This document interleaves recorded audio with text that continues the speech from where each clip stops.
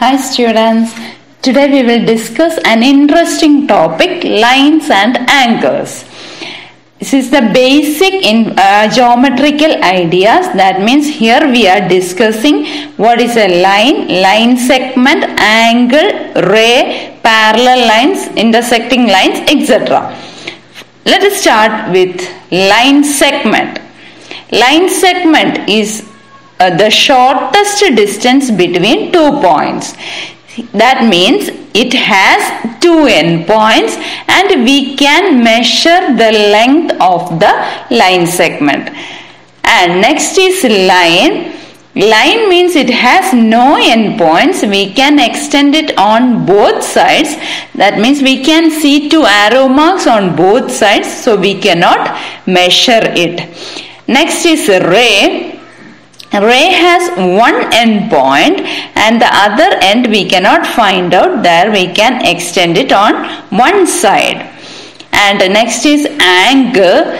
Angle means two rays having a common end point that common end point is called the vertex and the two rays are called the arms of the angle.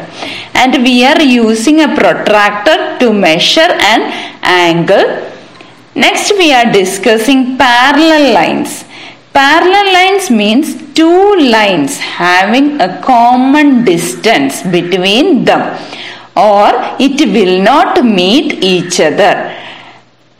Next is intersecting lines that means two lines having a common point or it is intersecting. That intersecting point is called the intersecting point of these two lines and if two lines are intersecting we can find out four angles. And uh, here I mark two angles 1 and 3 with green color. Their measures will be equal and they are called vertically opposite angles or angle 1 is same as angle 3. Suppose uh, the measure of angle 1 is 40 degree then the measure of angle 3 also will be 40 degree. Similarly angle 2 and angle 4 also will be equal they are called vertically opposite angles. Next, complementary angles and supplementary angles. Complementary angles are the angles, two angles having some sum of these two angles is 90 degree. Here the first angle measure is 60 degree and second angle measure is 30 degree. Sum is 60 plus 30 equal to 90 degree or these two angles are said to be complementary angles or complement of 60 is 30 or complement of 30 is 60. Their sum should be 90 degree. If the sum of two angles is 90 degree then the angles are said to be complementary angles. Next is supplementary angles. The sum of two angles is 180 degree then they are said to be supplementary angles.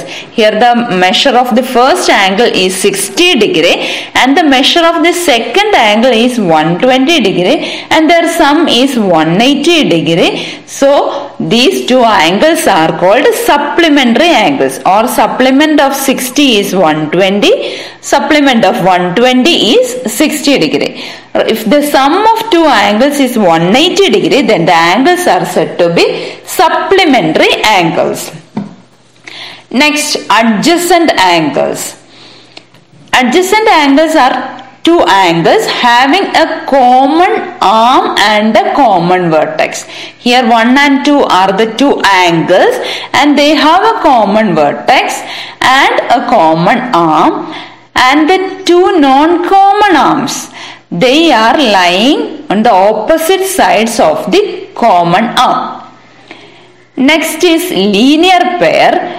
Linear pair means they are adjacent angles but the non-common arms form a straight line. That means it is sum of these two angles is 180 degree. We know that angle in a straight line is 180 degree. So angle 1 plus angle 2 is 180 degree. They are adjacent angles. They have a common vertex and a common arm. But the non-common arms form a straight line. Here I use blue color to show the non-common arms and it forms a straight line and the sum of these two angles is 180 degree. Next we are going to do a question. Find x, y and z from the figure. Look at the figure. See here I drew a blue colored line and look at the angles on the left side of that blue colored line. That means two angles we can see and the blue line is a straight line. That means the two angles forms a linear pair or z plus 40 equal to 180 degree or z equal to 180 minus 40 equal to 140 degree. Next, look at the figure. See here two angles, they are vertically opposite angles. So their measures will be equal or y equal to 40 degree. Next, see look at the figure.